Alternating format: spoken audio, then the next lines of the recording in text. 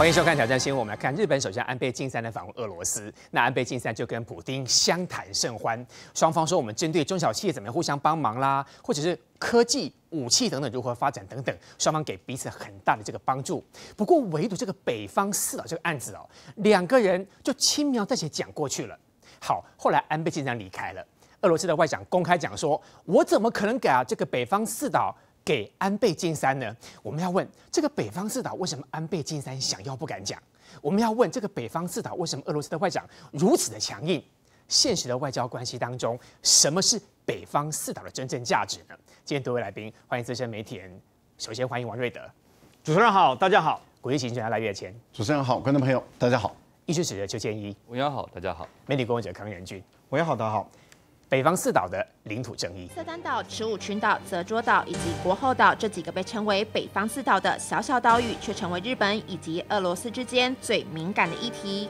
Вести разговор о каком-то взаимоприемлемом решении вот этого территориального вопроса без признания итога Второй мировой войны невозможно. 俄罗斯外长话说的很强硬，因为日俄双方都宣称拥有四岛。过去北方四岛的主权划分曾经更动数次，一八七五年之后，一直到二战结束，基本上是由日本掌控。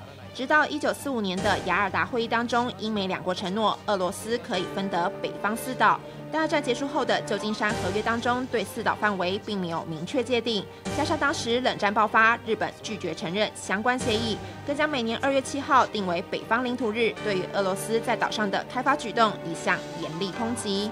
北方四島において、うんと第三国のこの企業等が経済活動を行うこと、 えこれはこの北方領土問題に関するこの我が国の立場とは相入れないと。这四个小岛究竟归谁？日俄两国多年来争议不断。虽然五月初日本首相安倍晋三才访问俄罗斯，向总统普京递出橄榄枝，但相关举动也被外界解读是企图重新定义二战结果，也难怪引起俄罗斯的高度反感。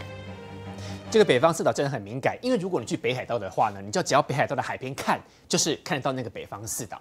那北方四岛其实一直以来有很多渔民在抓鱼，明明是属于俄罗斯的啊。哦，也许我讲错了，不一定属于俄罗斯的。可是为什么安倍晋三如此的很希望把它拉回来啊？哦，其实你也没有讲错啊，也不算你讲对啊，因为这个地方过去在。以前的确就是俄罗斯的渔民跟日本的原住民啊，在那个地方共同捕鱼的地方，所以这个岛一直有争议。所以也是俄罗斯，也是日本的。对，一直有争议。俄罗斯后来呢，他就跟那个岛的居民啊，就日本的原住民，他跟他们说，其实也不算是日本的啊，就是那个地方的原住民，他就跟他说，你只要拥有俄罗斯的护照，嗯，那有俄罗斯护照，你就可以在这个地方捕鱼，不会有人干涉你。嗯，所以这个地方的很多的岛民呢，他们就申请了俄罗斯的护照。你想，一旦有俄罗斯的护照，他当然就是俄罗斯人啦，是，所以他就在那个地方捕鱼，他们就变成俄罗斯的公民。好，那所以你说北方四岛到底是俄罗斯的还是日本的？嗯，可是因为彼此之间有争议，后来啊，俄罗斯因为想要争，想要经营东北，想要经营朝鲜半岛，嗯，那要经营朝鲜半岛，他就必须要跟日本建立一个和平的关系。是，那要建立和平关系，所以在一八五六年的时候，他们就签立了日。日俄和平与贸易协定，那也就是说，我这北方四岛就送给你了，但是我们两国和平，两国和平意思不能开战哦。这个时候，俄国全力在经营这个东北跟这个朝鲜半岛。好。日本在那段时间刚好在明治维新，明治维新一成功了以后，日本成为东亚的强权。嗯，一九零四年、零五年攻打了这个俄国的太平洋舰队啊，所以日俄战争你还打我？日俄战争很有名的旅顺港嘛，就在那个地方打，俄国被歼灭。俄国被歼灭以后，俄国就引以为耻。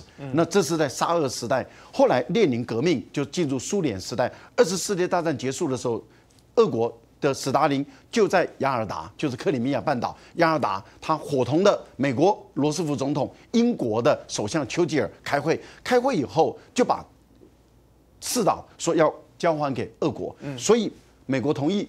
英国同意，所以这是国际间的公约。可是日本不同意啊！你说你要给我，然后你跟别人说这是要还给我，那你也没知会我啊。所以啦，所以我才会说你说的对，你也没有说对。也就是对日本人来说的话，我是跟你日俄签的是条约，对啊，你给我的。那你是你给我的、啊然后对俄国人来讲的话，哎，你失约了，你违反，你攻打我了嘛？不爽了你攻打我了，你攻打我，你撕毁条约说我不承认一八五六年的这个条约，所以呢，是以我日呃以有以英美俄三国为主。好，那这样的情形下，二次大战以后。俄国签了这个雅尔达会议的条约以后呢，俄国就出兵了。出兵并不是刚刚开始，并不是进入中国的东北跟这个日军交战，而是直接去打北方四岛跟日军交战。这个时候，他从这个千岛群岛到南千岛群岛，整个打下来以后，日军被歼灭将近二十万人，日军被歼灭将近二十万人，所以俄国人就牢牢的控制住这个北方四岛。所以对日本人来说，二次大战结束以后，日本人就一直想把这个北方四岛要回来。这一次，我们看到安倍晋三不是特别跑去索契，我们有在这个节目跟观众朋友介绍说，他去的目的其实是要跟普丁要回这个四岛。哦，终极目的是这四个岛。对不对？但是普丁其实也就是利用这个机会要挑拨日本跟美国之间的关系。我们有特别讲这个嘛？因为美国一直劝阻安倍晋三不要去，好，安倍晋三还是要去。去了以后呢，他跟普丁扯了半天，普丁跟他要八项的条件，然后日本也都答应了，说提出重金来开发援助俄国，对不对？拼经济好嘛很有可能啊，因为日本没有兑现他的承诺。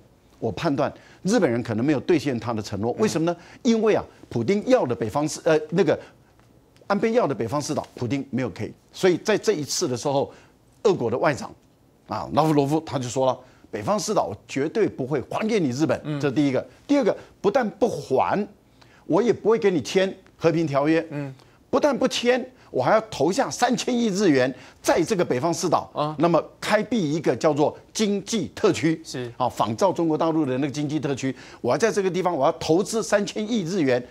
搞一个经济特区，不只是这样，我还在这个地方把关税降低，我还要吸引外资。现在很多中国大陆的这些投资家都想进入这个地方来，因为它有很丰富的渔获。那么他们把渔获捞起来以后，可以加工，做成为罐头，可以做成为农产品。而且呢，它的基础设施盖完了以后，它还可以外销。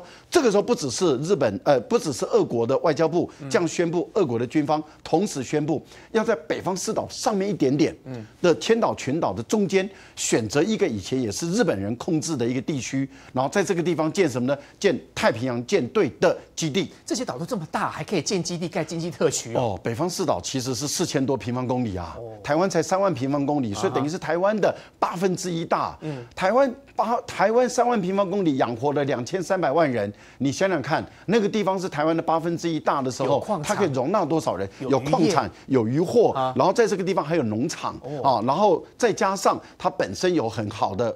港口可以做基础设施，你你你可以理解，这个地方一开发起来会可以做观光、度假、旅游工业欸、经济。好，那对日本来说的话，那还得了啊！这个你如果俄国这样投资下去的话，那你等于是在我家的门口。为什么呢？它近到什么程度？它可以近到有点像厦门看金门。嗯，就是北海道看得到嘛。哎，北海道可以看得到对北方，所以如果北海道可以看得到，俄国在那个地方现在在修军事基地，不只是海军基地、空军基地，那么特战基地都盖上去的话，那么加强更多的驻军，对日本的国家安全是不是威胁越来越大？日本的安全越来越大的话，俄国就可以牢牢的牵制住日本。所以你就从这个角度上来看，经济的原因、主权的原因，还有。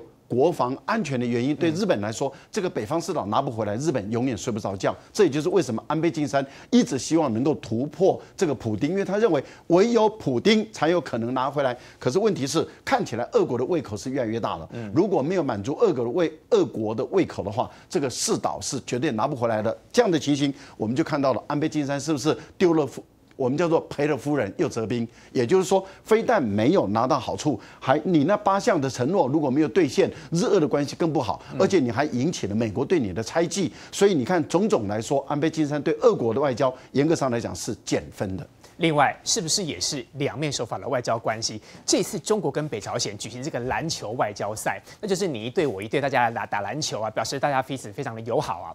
结果没有想到三场比赛当中，北朝鲜三场都赢，为什么会赢？你你知道吗？听说因为北朝鲜这场比赛的关系，这三场比赛的关系，成立了一个很奇怪的篮球规则。一般的篮球比赛，要么就两分球或者三分球。对啊，但是其实朝鲜，因为这那个篮球运动基本上在朝鲜里面不是一个非常被呃喜呃很热衷热衷的一个运动，所以这一次这个中国大陆跟所谓的北韩的这个呃篮球队，他们在这个所谓比赛的时候呢，哎，包含像金正恩啊什么都到场去看。你看画面上他挥手挥得很开心，你知道？哦两那你你就可以看到，就是说，哎，他为了为什么要去这个地方？因为他想用，哎，我是国家领导人，我去了之后，希望能够带动。因那金正恩来了，如果输球赛，不是给他很没面子吗？因为金正恩他过去在国外留学，据说他也非常迷这个所谓的这个 NBA 的这个比赛嘛，哦所以你看记记不记得之前这个小虫罗德曼啊，也都去了。你看画面上有没有？嗯哎，这个贼一边啊呢，然后你们本来就有这个交情，所以他也希望透过这个讲。可是因为篮球这个运动哦，实际上要有一个国际规则的存在。那您刚刚讲的，事实上在北朝鲜里面确实是有一个奇怪的一个方计分的一个方式，你知道吗？嗯就比如说呢，你刚你刚刚讲说，哎，我们投篮投对投进去算两分，有啊灌篮算几分？两分呢？一样一样是两分嘛？啊对不起，在北朝鲜呢，因为灌篮是需要高超的技巧，所以你要跳得高，而且姿势要漂亮，所以灌篮三分。加一分呢、哎，加一加一分。他们自己喜欢这样玩那就是。我们玩投三分球，对，三分球其实就那条线之外，对对，三分线之外投，不管你多远投都是三分，对不对是？但是呢，投进去有两种，一种是空心，一种哦是插板。结果那当然空心比较难，对不对？类似像一杆进洞的概念。是所以呢，外国哈，那跟跟人家不一样，外国投三分球就是三分，我们北朝鲜投三分球，如果你是空心的话，算四分。三分线的空心算四分，哎，算四分哦哦。那再来就是说，既然有赏就要有罚，对不对？北还有罚北朝鲜是非常这个 赏罚分明的国家，所以呢，你如果罚球，一般罚球不进就大家抢嘛，啊就没有分呐、不是还要大家抢球嘛？对不起，你罚球不进扣你分。你罚球不进扣你一哎，分，当然啦，谁叫你罚球还不进，这就是你的错了。有这样规则的哦最厉害的就是呢，因为其实篮球比赛时间就就那二十分钟多少分钟，大家比一比，一节就结束了，对不对？啊那因为这样子呢，所以大家就觉得说，嗯，那我们要增加比赛的刺激性。如果倒数三秒，哦，倒数三秒一定紧张，对不对？你的内心一定承受巨大的压力，啊尤其是打完这样那么多节比赛之后，你一定身心会疲惫。嗯这时候如果你还能进球，那你就厉害了。意思就是我知道快三秒，拖一下拖一下，我想争取最后面最高的分数，这样子、是是要给你争，是要给你鼓励，你知道吗？所以他们就规定说，如果你在倒数三秒之内进了球，那一球算八分。哦，这一球很肥哦，哎，对对，非常的厉害。所以我不知道北朝鲜是不是就撑着撑到最后对呀有可能的时候吧开始丢掉。弄得好想看他们但是呢，他们这一次的这个所谓的呃中朝哈中朝的这个篮球比赛里面，他们比三场，你知道吗？结果成这个这个成绩出来之后，真的让人家傻眼，因为北朝鲜篮球队人家没有觉得他很厉害，但是中国大陆的篮球队基本上人家是有在下过苦功练的，嗯怎么样也都不可能输给北朝鲜的球队啊。没有这想到他们这一次真的输了，而且连三输，你知道吗？嗯第一场输将近十二分，第三第二场第三场呢各输九分九分，嗯另外金价写好棒棒。然后结果可是这个结果一出来之后，事实上呢，这个广大的中国大陆的网友呢，他们就开始有一些说法。酸言酸语啊，当然不是酸言酸语，人家是讲说，其实哦，中国大陆这个这个代表队哈，他们这个友谊赛是故意礼让的，哦，因为在北朝鲜是不能输的。干嘛这样讲？故意理让，他输的不甘心的？不是来，你你那个怪规则也只有北朝鲜才有，你去人家国家就要适用人家的规则嘛，对不对？那就要讲说，是不是这个中国大陆代表队，事实上他们发挥了侠义的精神。如果他们在比赛里面赢了北朝鲜的勇士的话，这些勇士可能会被拖出去犬决啊、枪决啊或炮决之类的，所以呢，干脆就让他们给赢了，这就是他们这样的一个说法。吴元俊哥，小心你要被犬绝哦！北韩哦，其实有很厉害的那个篮球选手哦，是是是他是亚洲第一高人，他是两百三十四公分，两百三十四公分其实跟姚明差不多哎，他说不定可以打到 NBA 里面去，小心谨慎的听到你讲话。没有错，所以你你所以所以我完全不敢去北朝鲜，然后靠赖教授保护我这样。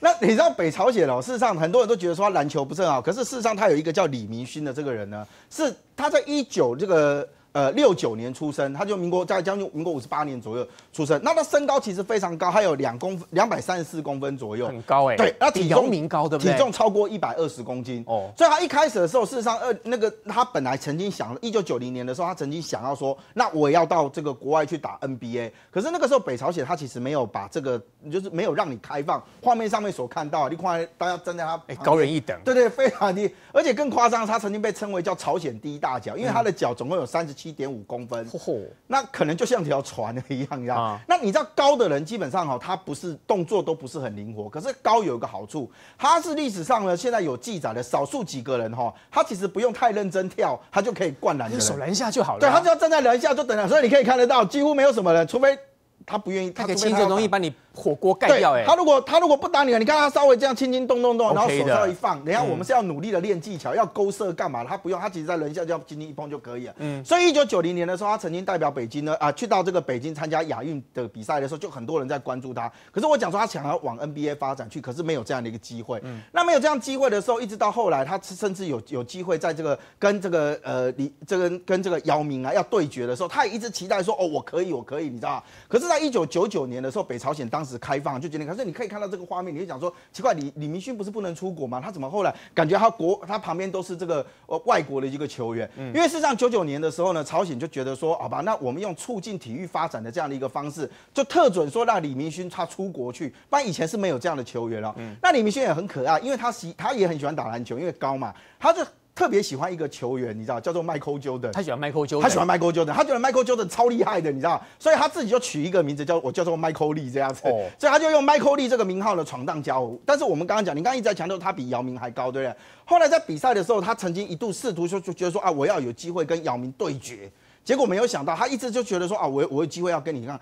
可是没有成功，嗯，不知道为当时不知道为了什么样的原因，所以两个人没有在球场上没有对没有正式的对决。不过后来因为这个李明勋他自己你也知道说，这个以球员来讲，他他那时候想要跟姚明对决是已经三十三回啊，你知道、年纪也稍微大了，所以在球场上其实是很残酷。后来李明勋他就正式的退休。不过以他的状况来讲，事实上呢，你你知道他都真的都是经过很多的世界纪这个吉尼斯世界纪录认证，认为说以当时他当时哦是以他那个年代来讲是自然生长最高的一个人。然后也是可以在球场上运动的一个运动员。另外，我们再来看到昨天呢，北朝鲜又再次的发射这个无水端飞弹，但是还是失败。你有没有想过，其实今年四月份跟五月份这两个月份当中，北朝鲜发射过四次的无水端的飞弹，结果四次全部都是失败。怪了，明明会失败，为什么还要试射呢？金正在想什么？另外，这次北朝鲜的外长这个李柱用还特别去访问中国，北朝鲜的密使他的心腹去访问中国，难道最近北朝鲜跟中国的关系会越来越好，还是有什么所求的条件呢、呃，是的，我们有看到啊，因为朝鲜啊，北朝鲜它本身把这个核弹小型化，一般来讲都被证实了。美国也认为说它已经成功的小型化有核弹。小型，那但是你小型化以后，你要能够把它送到对方的土地上去。那你要把它送到对方土地上，你如果用短程飞弹的话，那你只能打这个韩国，嗯，好、但是呢，你如果要把它送到日本或者送到美国的国土，你就一定要中程导弹以上，也就是说要能够打到这个关岛的这样的一个，那就一定要无水端。那无水端它这样的一个载具，基本上来讲，例如说要打两百五十公里左右，甚至要打到五千公呃两千五百公里，或是你要打到五千公里这样的一个导弹，坦白说，尤其是固态燃料就不是那么容易了。所以它本身的试射连续四次的失败，我们都可以理解，因为那个技术的确不容易。但是呢，你一旦试射成功的话，那它就能够变成一个有效的载具，把这个弹头装上去的话，这个对美国来说的话，那对日本来说，那这个杀伤力、威威慑力就很高了。所以你就可以理解啊，对朝鲜来说，它一定要想办法让它的这个载具中程的弹道导弹能够做得出来。目前为止。它的固态燃料的中程弹道导弹还做不出来，所以它还是一次一次一次的射一直要试射啊。对，那一次的试射里面，我们也看到了几个现象，就是说，对美国来说的话，美国做了目前很多的外交的政策，其实对于东北亚地区的局势是不太好的。例如说，很简单的情况是，他跟韩国要装这个萨德系统，这个萨德系统对中国大陆跟俄国来说的话，你根本不是真的要去防朝鲜，你主要是防中国大陆跟俄国，所以中国大陆很不愉快，俄国也很不愉快，所以他们的两个国家刚刚演习结，刚刚演习完结束，就是中俄的这个反飞弹系统的联合演习。这个反飞弹系统演习，我们要特别注意到一个重点在哪里呢？它是一个。绝对机密参数的交换，所以等于是中俄的军事互信达到最高的目的，不只是防御系统哦，你一旦这两个国家联合起来防御的话，那不是也是联合起来攻击吗？所以你如果这两个国家防止美国的弹道飞弹跟巡弋的飞弹是核子武器的，那表示这两个国家在反击的时候，不也是中俄的核反击能力的联合吗？是所以我们一般解读是防御的联合也是一种攻击的联合，这个对美国来讲是威慑力就很大了。好，那原因在哪里？就是你美国要装这个萨德系统，造成了这个中俄之间的更加的结合。好，但是也改变了中国大陆跟韩国之间的关系，因为中国大陆多次劝导韩国说你不要装萨德系统，可是看起来韩国是想要装的时候，也改变了中国大陆跟韩国的系统。好，这样的情形是不是创造了给朝鲜？李朱庸一个条件的，给金正恩一个条件的，所以金正恩在第七次全国党代表大会确立了他的领导地位以后，李朱庸他的监护人，他在瑞士留学的时候就是他的监护人，跟金正恩很好哎，跟金正恩很好，可以讲流利的法语的李朱庸，而且他也当过朝鲜的外交部部长，这次被拔擢成为政治局的委员，是政治局的委员以后呢，他就被金正恩派。他到北京去，他为什么到中国去啊？哎，我觉得有几个可能性。第一个就是要开始改善、调整这个中国大陆跟朝鲜之间的关系。两个冷战很久了，也就是说，金正恩想要改变他跟中国大陆的关系，也就是要恢复过去的友谊，或者是两边的关系要开始升温了。所以金正恩要派他的亲信，最值得信任的。那也就是说，因为他可以代表你那个金正恩，那这样的一个人是可靠的，应该是要。给金正恩传话，也就是说要带话过去，所以由这个中国大陆的对外联络部的部长宋濂来接待接待，但是能不能见到习近平呢？还不一定。为什么？因为如果他传出来的讯息如果是不够让中国大陆能接受的话，那。他们不会让他再建更高一等级的。一般来讲，在中国大陆来说的话，我们谈的第一个条件，如果谈的不错，你可以建到更高一等级。更高一等级，如果谈的更好，那就往上再走。那如果说谈到这里就卡住了，那就对不起，上面的就见不到了，那就谈到这里为止。所以我们看到以前的崔龙海或者很多，他们也都是中共是采用这种模式。所以从这个角度上来看，大家就很关注，如果习近平会见到李柱庸，那表示什么呢？他带出去的金正恩的承诺或者一些。讯息是很正向的，对中国大陆来讲是很正向的，而这个正向的是可靠的、可接受的，这样的情形，可能习近平就会跟李竹庸见面。见面的话，那就表示什么呢？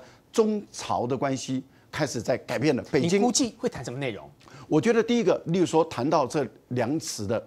朝鲜的粮食供应的问题，要跟中国要粮食，经济制裁解除的问题，别再制裁我了。对，然后例如说来交换什么？好，例如说有关于核武的发展，是不是到此不要再走下去了？嗯，啊，或者是你交给第三方，或是恢复六方会谈等等。好，从这个角度你看，对美国人来讲着急了。所以美国的克里，他的国务卿马上打电话给中国大陆的外交部部长王毅，他跟他说：“我我希望我们两个人能够会谈。为什么？因为我们都知道，如果说中国大陆一旦解除对于这个朝鲜的经济制裁，或者改善，或者改变的话。”朝鲜马上就恢复它的生命力了。这样的情形下，那么很有可能整个东北亚局势又改善。先给王毅打预防针。可是问题是，现在的情况是，美国在南海跟中国斗得一塌糊涂。是啊。那么在东北呢，又硬要装这个萨德系统啊。日本跟中国大陆的关系搞得那么紧的，安倍晋三现在吵得一塌糊涂。那你想想看，目前的情况下是这些动作，美国、日本、韩国的三个动作，是不是都让北京非常的不愉快？那北京只要改变跟朝鲜的关系，那不是就影响了这三个国家吗？何况。另外一个部分就是在菲律宾的南方，杜特地不是也开始改变跟中国大陆的关系，所以美国在东亚的战略布局很有可能会出现很微妙的变化，都在看这一段时间而已。稍后带你看到这一位呢，也是客死异乡的争议人物，他是碾众人。碾众人是彰化县的前副议长，当时他是黑道哦，他如何漂白变成民意代表，还有他为什么客死异乡？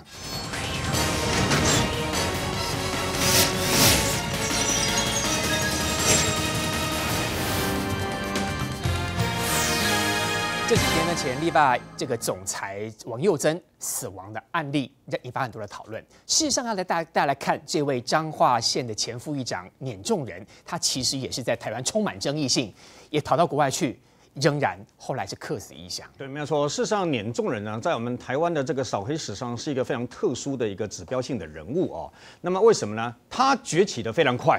那么他的行为十分的嚣张跟乖张，那么最后的结果就是这个地方啊，这个等于说呃，已经欠干，已经无法无天的地步了，所以警方立刻把他给提报流氓等等啊，最后他潜逃海外，那么最后还是客死异乡啊。碾重人的崛起是一个很特殊的环境下面，因为彰化地区呢，它有很多不同的这个等于说帮派啊跟势力。那么在一九九四年的时候呢，因为地方的派系的这个政治派系之间的这个这个这个纷争啊，所以碾重人一个好黑道出身的一个碾重人呢，因为竟然因为这样选上了议呃他彰化县议员之外，还当上了副议长。他凭什么啊？呃，凭当时的派系之间的纠葛，所以在此时此刻呢，就要另推一个人出来取而代之啊。所以呢，年众人因为这样而起来啊，趁势而起，然后再加上他对当时的彰化县政府啊，就国民党籍的这个等于说彰化县政府呢，非常非常的支持啊，所以呢，在很多的地方这个势力里面呢，也希望用年众人的力量来解决一些啊无谓的困扰国民党就提名包括来自于媒体的部分，哦你知道吗？为什么哦媒体为什么？因为媒体有时候会要的监督相关的啊、相关的政府的一些施政啦，还是相关预算等等啦。那年众人呢，他到后来，因为他这个你要知道，在地方派系能能够串起，他必须经营很多的行业。那通常我们都知道很多的系统啊，那也包括啊这个相关的，甚至有部分的第四台啊，像正太极就曾经经营过第四台，做 cable 啊。那他自己本身呢，有线电视碾重人他是最主要是涉足这个所谓的砂石业。哦砂石业其实就叫黑金。那么在台湾的这个北部以降啊，你还记不记得？呃，苗栗县政府没钱的时候，还说要把那个标出去，有没有啊？嗯相关标出去等等。对，那事实上呢，在北部以降，尤其是中南部地区啊，这条溪流呢，就是一个 ogin，，因为你申请的时候呢，范围是哪里到哪里，可问题是呢，永远很多人都从你申请的范围以外开始挖，而且挖完了以后呢，一场可能台风又来了，你永远挖不完、啊。先抢了再说那为了抢夺相关的利益，因为每挖一车就是就是 ogin 嘛，就可以赚很多的钱嘛，所以为了杀死车杀死的利益呢，那争夺起起来啊，不可思呃，等于说那个手段呢会非常的凶残。缅中人最有名的一件事情，就是一九九六年的时候呢，为了争夺浊水溪相关的砂石啊，他曾经速度率领他的手下，直接他的手下其中有一个杀手是来自于中国大陆的偷渡客，哦，他本身也是个杀手。然后呢，枪支非常的多，所以呢，他直接率手下直接冲到这个、呃河川地区，然后就把对方的这个砂石这个全部都压下来嘛，不准他们作业等等，这个地方我要独占干什么的一大堆。那因为不满那个砂石车司机的态度，对不对哦？直接把枪从他的像电影演的情节一模一样，从他的那个嘴巴里面塞进去枪管，把那个杀把那个司机吓死了，这么猖狂啊吓死了！因为因为如果你掉下去，就是一条人命嘛。哦，那个电影情节在碾重人的身上曾经发生过哦。那最后有一次呢，干脆就真的把开挖土机的司机直接给枪杀掉了哦。他也因为这个案子，后来呢，并其他的案子判了二十年的有期徒刑等等。那么除此之外呢，他还有很多的这个呃，在彰化地区啊，到现在很多人还会谈起碾重人啊，都会觉得不呃不可思议的一些事情。为什么呢？照理来讲，在一九九四年开始的话，已经民国八不过二十年前呢，嗯，民国八十三年，也不是二十几年前了、那时候台湾不是应该很开放、很民主，然后很重视法治的吗？没想到在彰化碾中人竟然可以如此的离谱，为什么呢？他常常在这个等于说去议会，他很他比较少进议会去开会，但是他常常进议会的时候呢，是要瞧事情相关谈事情的时候，有一次他喝多了，喝醉了，然后走进去的时候呢，砰！两把枪掉在这个议会的这个，他带枪进去对哦没有错。哦然后有人就叫他，哎呀呀呀，副议长，副议长啊、那那他他以为说人家要提醒他枪掉了。啊说啊啊啊枪掉了，他就把它捡起来，哎然后这样枪来恐吓走了吧。旁边的人看的目瞠目结舌啊，枪直接掉下来。那他人家是在说你你怎么会带枪，对不对？是故意亮枪的吧以为说人家好心提醒他枪掉了，所以把枪拿起来。那么有一次呢，为了瞧一个预算的事情，所以呢，他请了啊，他出面，他副议长嘛出面，请了很多的议员呐、然后到这个酒家吃饭呐、喝酒了等等啦，啊，谈完了就是这个这个这个 case 还有这个预算，呃，大家都没有意见吧，对不对啊？然后不可以有意见啊，干什么？他打好了。结果呢，酒酣耳热之际呢，啊、结果把车就开到开回议会去了。那么就在这个时候呢，有人就提说，哎呀，不一定啊，我们大家都瞧好，私底下瞧好是 OK 啊，可媒体没有瞧好啊要。瞧媒体、啊，哦，媒体可能他到时候爆出来，对不对哦？嗯指责我们，然后对我们这个通过这个预算有意见的话，那到时候社会舆论压力会很大所以。他要去瞧。哎，他一听不，他一听哦，他那时候有喝多了哦，他一听，那人家也没有说是特别只是哪一个记者嘛，哪一个报社，哪一个媒体，他一听说。一定是哪一报的谁谁谁这样子哦哦，一定是哪一报的谁谁谁，他最不听话，你知道吗？哦，最喜欢这样气死我了，我要干掉他。他他讲这句话，大家以为说他就是个气话，喝多了嘛，嗯他讲酒话，就没想到他砰砰砰的冲出去啊！大家一想他冲出去要干嘛，所以也也跟着出去，你知道吗？啊，结果他砰砰砰地冲出去了以后呢，到他的坐车直接把耳道一掀开，他。直接掀开了，大家一看，我的天哪，一堆枪在里面啊，又亮枪了然后呢，他要叫他的那个大陆的偷渡客的杀手拿枪直接干掉那个记者。还好后来有人出来要说，哎不不不不，哎这个这个记者是我好朋友啊，这个我跟他讲一下就好了啊，你你千万不要这样把事情搞大了，到时候不可收拾，到时候我们大家这个完蛋。你你如果真的是开枪打记者的话，那几目多屌对吧哈？反正很多事情都不能处处理啊。然后另外有一个报社的记者则是啊。因为碾中人一直警告他不准写相关的跟台湾在彰化县政府的相关的东西去批评，他基于我们媒体就是无冕王嘛，怎么可能你黑道叫我怎么样我就听，对不对？我不可能屈服在你黑白两道的恶势力之下，所以他照写。嗯，写了以后呢，有一天他突然间呢准备在他的我们在每个县市的，如果你总市是在台北的话，每个县市都会办事处啊，以前都会在那个地方写稿，现在电脑化了以后就可以散出去了啊。那就在这个总部那个就在那个地方的服务处那个地方写稿完以后呢，啊一走出来以后看看报得了。记者被看报对，没有错。看报的以后呢，就带走了，带到哪里去呢？带到碾重人的砂石场。那么砂石场不是都会哦，一捆一捆那钢筋啊，那啊丢进去啊一捆一捆哦，没有没有，他没有那么恶劣，你不要把它想成这个样子。他只是叫这个记者呢往前走，往前走，走到哪里呢？看报的就来往前走，到那个砂石的最高点，因为下面就挖得很深嘛，嗯啊，挖了几十公尺这样嘛，啊，不要动，不要动啊。他说你不要动哦，千万不要动哦，你也不要回头，也不要动哦，真的不要动哦。然后呢，砰一声，这个记者的左边开被开了一枪。哎呦，啊，你就不要动哦，不要动哦，不要动就没事哦。砰的一声，右手右边又开了一枪。呃，你还要不要再继续写？太黑道了。还要不要再继续写？再继续写，我就直接从中间开了，你知道吗？你想想看怎么办？就报警了啊，就只好看看怎么处理了。所以后来年重人在彰化的那时间其实不长。嚣张了两三年而已，跟他的所作所为超出我们的想象之外。通常一般的黑道是求财，江湖求财不求气，不会用这样的方式来处理的。所以后来呢，因为涉及这么多的案件，那就被警方给逮捕了。逮捕了以后，后来交保，为什么交保呢？因为他用二。他就把自己饿到剩下三四十公斤，绝食对不对？不吃东西。他个头他本人个头就不高，他这样瘦了以后呢，营养不良，很多毛病啊，有什么肾的毛病，还用担架抬出来保外就医就医啊就然后画面这个时候呢哎就直接到中国大陆去了。后来啊，在二零零一年的时候呢，中国大陆的一家夜总会呢，因为连续被人家开枪来勒索保护费，嗯。啊，连续两次开枪勒索保护费，那么后来他们就报了公安，所以公安早就在等。结果呢，到第三次的时候，真的又来一部车子里面有自小客车的两个人呐、就直接前两次都打招牌，这次直接逃着一楼这样子，直接门里面就打了。那很多人他照开开枪了以后呢，一楼的玻璃大片的落地窗玻璃棒碎掉了以后呢，这时候在一旁的公安那个嗷嗷出来就追了，就追了这个自小客呢，然后就追追追追，最后这个自小客因为追赶的过程当中开得太快，直接撞上那个分隔岛，棒就撞上去了。车上里面的人就死亡了，其中一位就是碾中人。所以呢，当时曾经窜起的这么快，结果最后的结果是亡命他乡。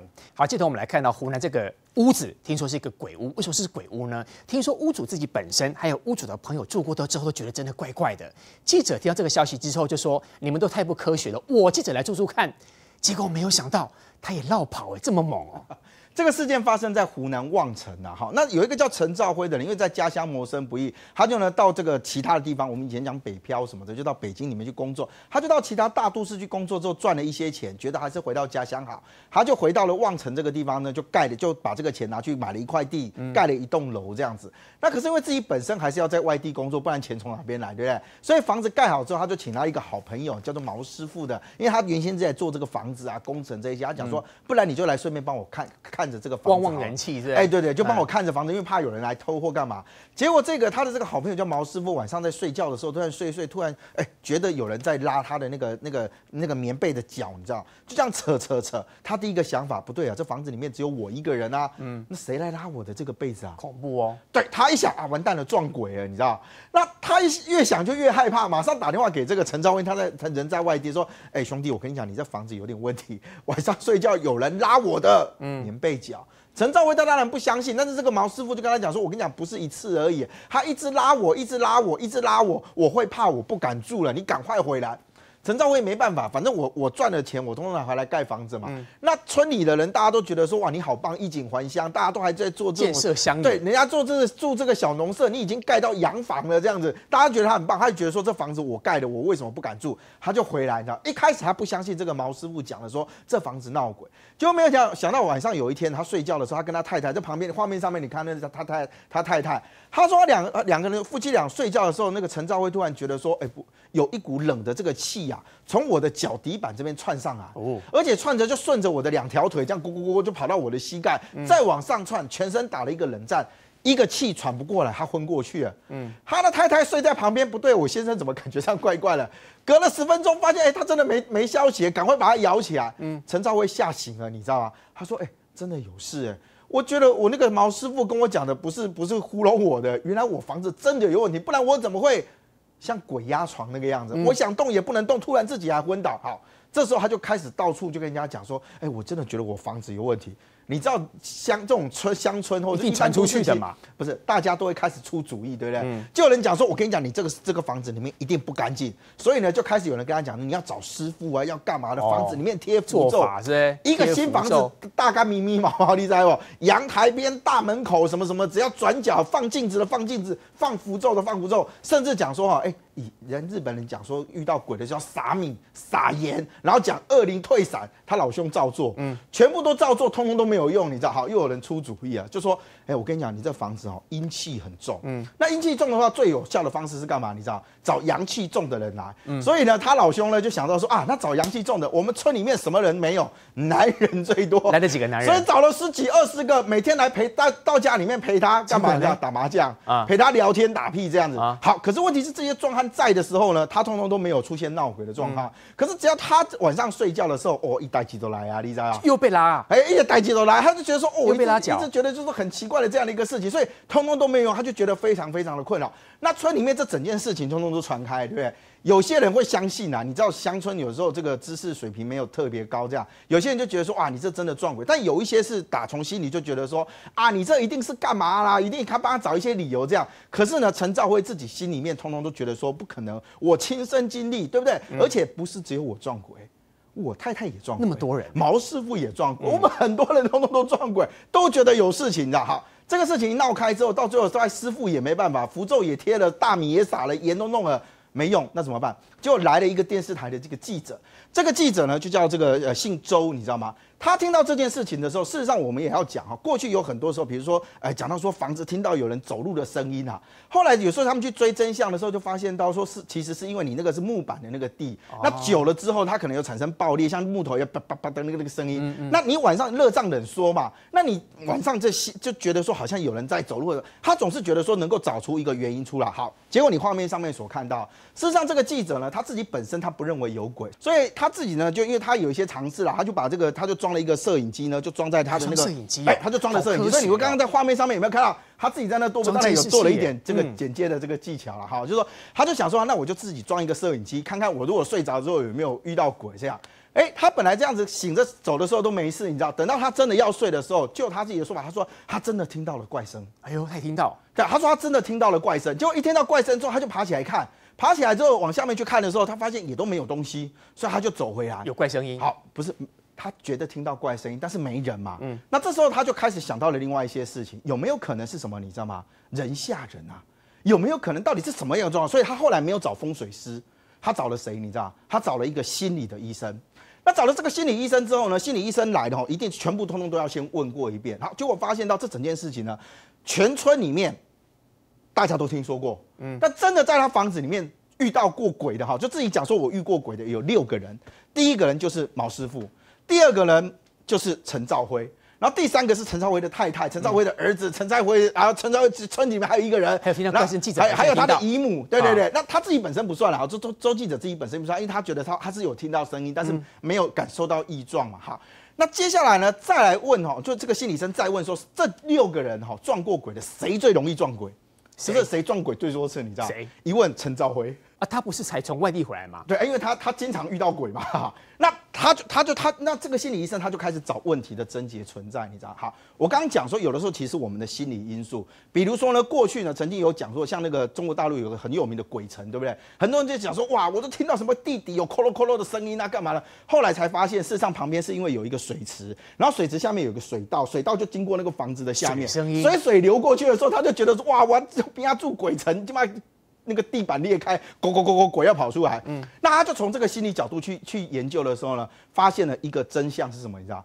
第一个撞鬼的叫做毛师傅。嗯，心理医生就问他说：“师傅啊，啊你你你现在做什么？”他是毛师傅跟他讲说：“我现在在弄房子啊，做地基啊，啊我平常兼职还做一点道士啊，做道士，你知道吗道士 摇铃的那个道士。好，心理医生找出这个问题的症结是哪里啊？因为第一个撞鬼的这个人叫毛师傅嘛，他自己本身因为从事道士的关系，他一定相信鬼神。嗯，那他相信鬼神的过程当中呢，因为他开始觉得有他或许感觉到什么东西啊，这个我不知道，但是他心里面根深蒂固就觉得说啊我，相信。一定有鬼神，嗯，好，一定有遇到这个灵异的这个事件，所以呢，他不断的强化这样的一个印象，结果把这个强化的这个印象之后，告诉了陈兆辉，陈兆辉是第一个接收到他印象的人。然后接下来是陈兆辉的太太，再来才是往外面其他人啊。所以为什么到最后变成是说，他从心理医生的角度研判，第一个最就是最容易撞鬼最多次的那个人，就是陈兆辉本身，因为他被他强化了印象，他被陈毛师傅强化了这样的一个既定印象之后，才发现原来是问题出在毛师傅的身上。哦，因为一切都是他以讹传讹。啊，东西一敢一敢讲诶，你知不？好哎啊，陈兆辉其他人都是转述嘛，所以其实其他人的这个感官神经没有那么的敏锐。嗯，好，话也这个也很悬疑，你知道？我们刚刚讲说啊，他或许觉得有人在拉他背啊，有人觉得是这样，后来发现这是一种精神上的歇斯底里这种反应，他们称之为叫癔症啊，哈，就是你有一点在想象的那个样子。结果心理医生找出了这六个人之后，分别了解之后，而且找到原因，说原来就是你毛师傅你自己相信鬼神，所以把这个东西无限放大，说，哎，说也奇怪，这个事情解开之后，这六个人再也没有装过鬼。哦，所以是以讹传讹，鸡飞城市。啊啊！房子干干净净的，嗯，现在陈兆辉一家人住在那边，还住得蛮开心的。来看到历史上说被称为是最残忍女人这个吕后，她怎么残忍你知道吗？推出是所谓的人质的酷刑。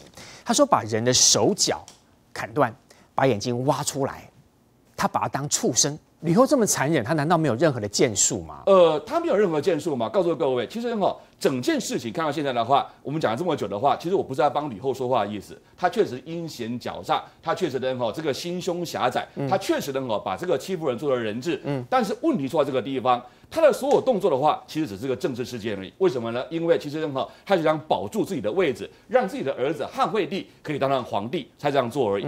而历史上哈，对因因为对这个人质事件很残忍的关系，所以一般来讲的话，都认为吕后是个坏蛋，坏透了，头顶生疮，脚底通红这种坏蛋这样的。但他真的是这样子的吗？告诉各位，可能未必如此哦。为什么呢？我们来看一下哈，在画面里面的话，左半部呃左半面这个图片叫做半两，上面写的这两个字半两两钱嘛半两就是钱的意思。嗯那这种半两钱的话，其实哈就是在吕后的时期发行的。那吕后的这种半两的话，有特别的名字，叫做八铢半两，八铢半两啊。我们听过半斤八两哦，我，们听过半斤八两嘛，哎对不对？哎听过锱铢必较那这个锱铢必较也听过。那啊为什么特别叫半呃八铢半两呢？是因为其实它的重量其实还不足真正的半两这样子的一个单位，因为真正的半两应该是十六铢才对。啊所以其实呢，哈，呃，八铢半两指的是真正的半两重量已经减半了。那听起来这怎么回事呢？为什么这个事情很重要？告诉各位，我们来看右下角这个图片哦。那真正的半两钱的话，是在秦代发行的，这一个是秦半两，这是秦半两。在前面的 A 这种的是标准型的半两，而 B 这种的就是减重以后的秦半两。而减重以后这种半两钱，其实它的重量也是八铢，也是八铢哦。那这个事情怎么回事呢？告诉各位，其实呢，吼，古代的货币单位基本上是以计重为单位的，意思说，我跟你讲半两的话，这个东西就是半两。那以前哈是没有所谓的大面额货币跟小面额面额货币差别，以前没有说什么一个钱上面写一百、五百、一千，没有这回事的。所以哈，其实一个钱就是一个钱，这个是一个钱，这个也是一个钱，嗯，这个也是一个钱，这样明白了吧？所以哈，其实哈它都是钱。那为什么说重量单位很重要呢？其实哈，在过去的时代里面，有时候国家在缺钱的时候的话，开始跟民间抢钱。那怎么抢钱知道吗？简单来讲，本来原本一个钱应该这么大一个钱，那那好，它就减轻重量，变成小钱这样子的。那现在政府的做法是在钞票上把那个数字印大一点，像那个新台币不是有以前从一百变成五百变一千，现在有两千元钞吗？对不对？那像新巴威的话，一印的话印一兆出来这样子的。那其实呢哈，现在的做法是哈，把那个数字印大，可是过去的做法是把钱做小，把钱做小。嗯，那这个做法很简单，就是任何，意思说原本呢哈。半两钱应该符合十六株的重量，是应该符合这重量啊。可是哈，国家当然没钱的时候怎么办？知道吗？那很简单，我们半两钱的话就减半重量嘛，对不对？缩小它的币值。呃，它没有缩小，币值还是一样，币值是一样，重量。变一半而已，那这样买东西就可以变买的比较少了。就是国家呢，我拿一样的这个重量的钱的话，可以做出两倍的钱出来。嗯嗯。比如说呢，哈，这个当我这个没有钱可以用的时候怎么办呢？我就把这个重量减少嘛，对不对？这样子我用一样重量的铜，可以做出更多的钱出来。也是另外一种通货膨胀。这就是搞通货膨胀了。嗯。那这个做法的话，难道民众是笨蛋吗？民众一定知道啊。一定知道啊。我原本钱一个这么大一个，就现在难道变成一半而已？变成两倍的 double。心中的这种不满情绪就会高涨嘛，对不对？所以后呃，过去历史里面经常发生所谓的这个斗米万钱呐，这个物价飞涨啦，大家有钱可是买不起东西，嗯，怎么就知道吗？就是因为钱越做越小。你看了，从这个 A 到这边的这个下面的 E 那样子的，越做越小，上面都一样给你写半两，事实上都不足半两。为什么？你这样讲，他不是得政哎？呃，这个基本上是一个欺负人民，一个非常非常抢钱的行为这样子的。那这种抢钱的行为的话，告诉各位，其实越是混乱的朝代的经济，它的钱就越小一个。好了，各位听好了。那为什么说呢？哈，吕后的八铢半两很重要，知道吗？告诉各位，在整个汉代历史里面，真正的发行足重的，一直说那个钱呐是比较重的钱的，只有吕后的时代而已。就在吕后在主政的这四年间，曾经发行过这种八铢半两过。后来叫做四铢半两，甚至还有三铢钱出现。他虽然欺负欺负人，可是不欺负百姓。他欺负了那个呃，他害了那个欺负人啊。可是问题是在他主政的时代里面的话，事实上当时他的钱还是符合了应该有的重要单位。嗯，也就是说，在政治上面他迫害的那个欺负人，可是在民生上面的话。这个吕后的话，他非常照顾人民的，为什么知道吗？因为他知道，如果说把钱做得更小的话，那么民生会凋敝。所以哈，在他在位的时候，发行了半两钱，是足重半两钱。所以告诉各位，其实历史上真实的吕后，或许可能跟我们在电视上看到的情况是不太一样的。为什么呢？破坏欺负人是一回事，那是个政治事件。那那重点是哈，他在经济上面他做得很好。这一个就是吕后的八铢半两钱。一八六四年六月一号，太平天国的领导者洪秀全病逝北京。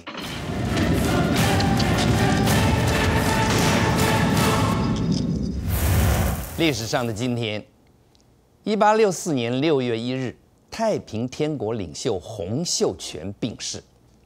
洪秀全原名洪仁坤，是广东花县客家人。他早年曾经接触基督教思想，创立拜上帝会，主张建立远古天下为公盛世。一八五一年发起金田起义，发动农民反抗清朝统治。建立太平天国，洪秀全自称天王，在永安建制分封诸王，使太平天国有初步规模，巩固领导，提高太平军战斗力。一八五三年，攻下江宁府，也就是今天的南京，改名天津，作为首都，总计历时十四年，先后攻占。六百多座城市，势力发展到十八省，占据了江南附属一带，撼动清廷税收来源。然而，洪秀全定都天津以后，封建意识与日俱增，陷入阶级观念、享乐思想。另外，为防大权旁落，洪秀全用人为亲，例如石达开。是太平军最优秀的统帅，然而洪秀全猜忌他，用安福二王挟制和排挤他，因此石达开出走，致使太平天国出现分裂局面。洪秀全大封王爵，不问才德功劳，亲戚、广东同乡或捐有钱粮者都可以封王，人数达到。两千七百人以上，造成朝政混乱、吏治败坏、军事削弱的局面。一八六四年三月，天津合围后，城内断粮，洪秀全带头吃草团充饥，卧病不起。六月一日病逝北京。很久以前，我看过《太平天国》这本书，写的相当。有趣味，也相当的深入。挑战新闻，让我们继续看下去。